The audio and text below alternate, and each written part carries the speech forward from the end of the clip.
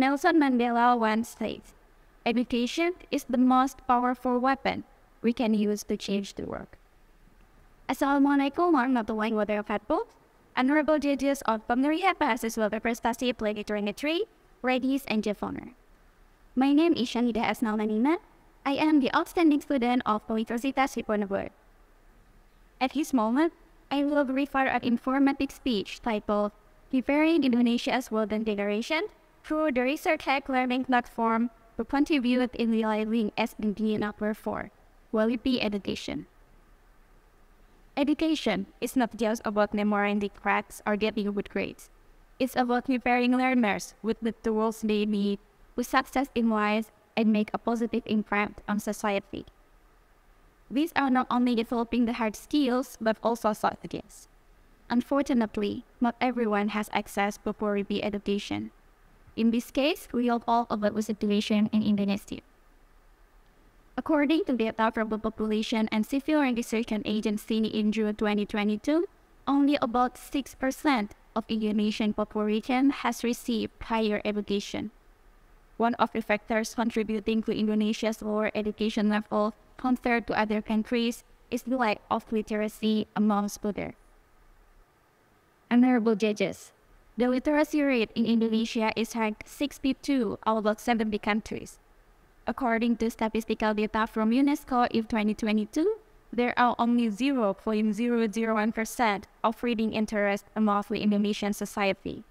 This figure illustrates that there are only one Indonesian out of thousands of Indonesians who is a keen reader. There are two main factors contributing to the low reading interest in Indonesia.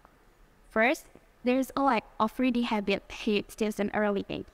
Second, higher price for good quality reading materials. So what can students do?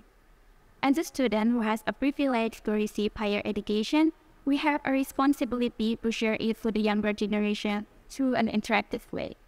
One of the challenges we could have to improve is reading habit. To increase the reading interest in the community, especially the younger generation, we can provide an attractive and inclusive educational platform. During the COVID era, I tried to develop an educational platform focusing on research introduction to the general public, which is called Researcheck. Research Check can be accessed through the social media platform at Instagram at Researcheck.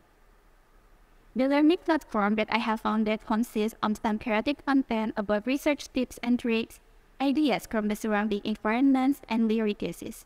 This platform provides live videos about research tips for beginner users, brainstorming, and television hacks. It also describes implementation of local wisdoms such as mathematics, indigenous plants, and cultural activities from the research point of view. It is aimed for targeted groups which are students from elementary, school to high school. Therefore, it will be easier for them to understand research in general. This will also shape their academic writing and critical thinking abilities. This platform can educate the community, especially the younger generation, with an attractive and easy to understand interface, increase curiosity and environmental awareness, as well as provide an overview of the research implementation in daily life. Researcheck can also collaborate with the Ministry of Education, Culture, Research and Technology Republic of Indonesia so that the content produced can be more attractive and this platform can be disseminated throughout all regions of Indonesia.